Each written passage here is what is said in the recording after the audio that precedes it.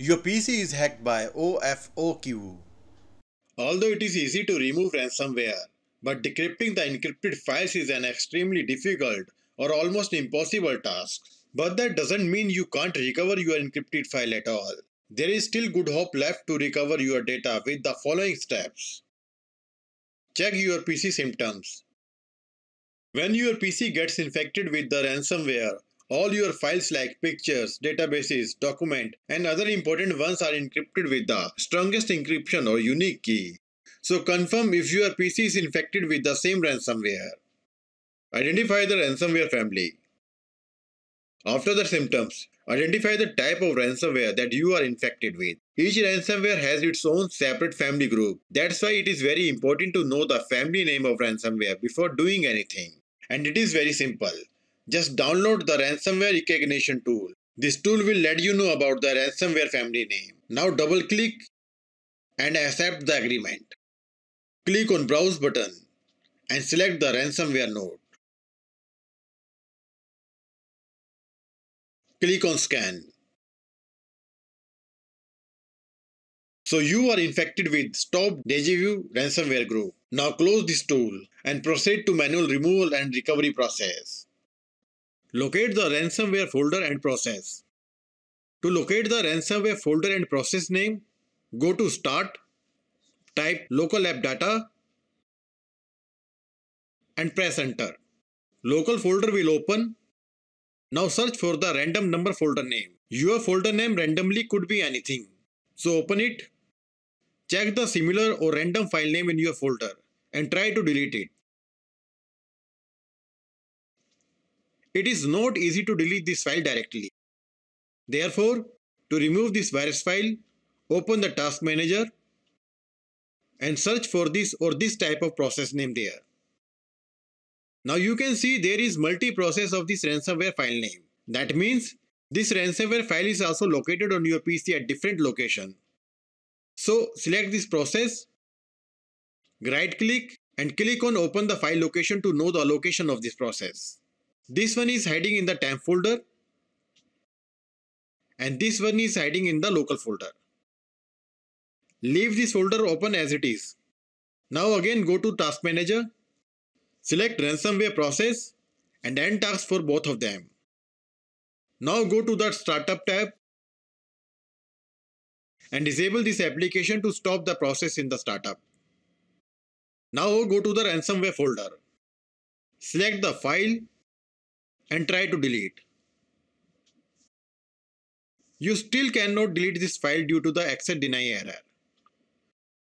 To get the access of this file, right click on file, properties, security tab, click on advanced, select everyone, click on disable inheritance, click on convert inheritance permission Select everyone and remove it. Apply OK and OK. Now you can delete this ransomware file. Do same for the another one. Now we have successfully removed the ransomware files from the PC. Time to decrypt the encrypted files. To decrypt the encrypted files, download the Stop DJVU Vu Decryptor tool. Please remember, this tool will take some time to decrypt your personal data it completely depends on your folder size. Please also note that if this tool doesn't work, then you may receive online or offline ID related message. If your ID is online, then decryption is impossible without the private key. And if your ID is offline, decryption may be possible in the future. Now double click on this tool, click on I agree, click OK, clear object list, click on add folder and select your encrypted data folder. Click OK. Now click on decrypt button. So this tool was unable to decrypt the data, but the ID is offline and there is a chance to decrypt the data in the future. Get the data from Windows Shadow tool. You can easily recover your backup data from Windows Shadow copy.